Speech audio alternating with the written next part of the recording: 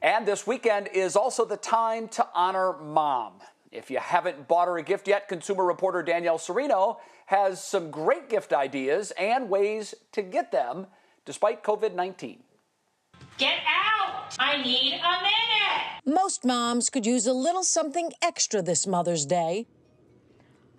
For real, you guys? And COVID 19 doesn't have to get in the way of making her feel special. For Mother's Day this year, I'm asking for gift certificates to the salon so I can enjoy the luxuries we've missed out on these past couple of months. A day of beauty is what most said they wanted, even though they'll have to wait for it.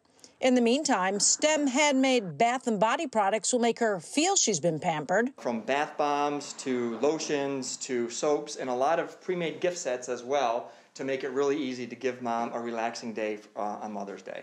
And they have curbside pickup through Saturday. What I would like for Mother's Day is a bike. Don't laugh. Cabin fever is causing everyone to seek exercise and exercise clothing, both of which you can get at Century Cycles. We've had uh, the, probably the busiest eight weeks I've ever seen in the 28 years I've been in business. Everybody wants to be on a bicycle and be outside and get out and get exercise and have fun. They're even open on Mother's Day. What I would like for Mother's Day is um, uh, all expense paid, three day getaway uh, to a bed and breakfast.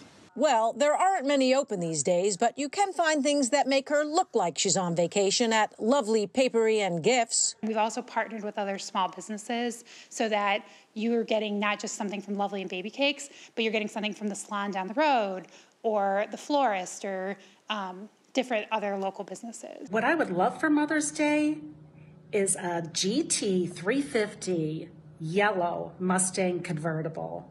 And that would be sweet, but something for her sweet tooth might be more realistic. That's where Fears Homemade Confections vegan and regular chocolate boxes come in. Chocolate bars, sunflower cups, and a Happy Mother's Day top. Our standard box, which has our original brownie, caramel Oreo, a Biscoff caramel bar, sponge candy. All I want for Mother's Day are the salons to reopen and the schools. No, Chuck E. Cheese. Yeah, I'm sure she wants Chuck E. Cheese, but I'm thinking that's not on the list. Danielle Serino. Just so everyone knows, I'm not getting out of bed today. 3 News.